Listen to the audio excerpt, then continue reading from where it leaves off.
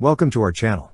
Don't forget to subscribe and put likes, because your support is important for us. And here we go. Air defenders from Charlie Battery, 5th Battalion, 4th Air Defense Artillery Regiment of the U.S. Army recently took part in advanced air defense exercises at the Bemowo Piskie training area in Poland as part of the Sabre Strike exercise within the Defender 24 framework in April 2024. Defender 24 encompasses a series of military exercises aimed at bolstering interoperability and tactical proficiency among NATO allies, with Sabre Strike specifically honing combined live-fire and radio communication skills. This strategic endeavor underscores NATO's dedication to enhancing collective defense capabilities in response to evolving global threats.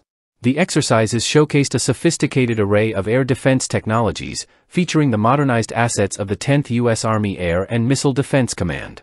These cutting-edge systems play a vital role in ensuring aerial superiority and safeguarding against missile threats, underscoring the heightened readiness of Allied forces. This marks the first occasion in U.S. Army history where the M-SHORAD platform will be fully integrated into a maneuver unit during a large-scale exercise.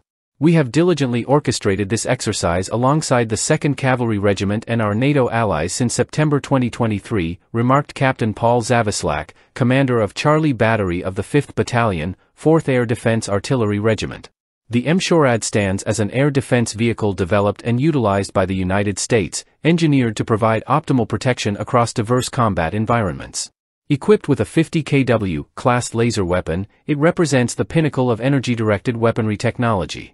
The M-SHORAD boasts robust protection, capable of withstanding impacts from 14.5 mm caliber munitions, mines, and improvised explosive devices, IEDs, ensuring enhanced safety for its onboard crew weighing approximately 27,215 kilograms and capable of reaching a maximum speed of 92 kilometers per hour, the M-SHORAD possesses an operational range of 550 kilometers, facilitating extended missions without frequent refueling.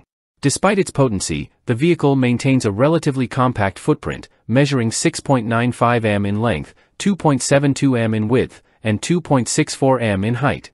The M-SHORAD's radar system comprises a beam director, an electro-optic-slash-infrared target acquisition and tracking system, and a Ku-720 multi-mission radar.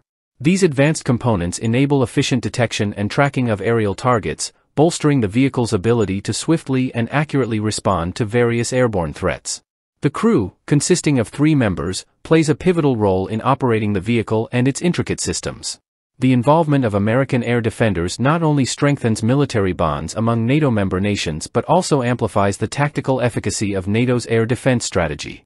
This bilateral training initiative forms part of a broader NATO endeavor to fortify defense collaboration and readiness across Europe.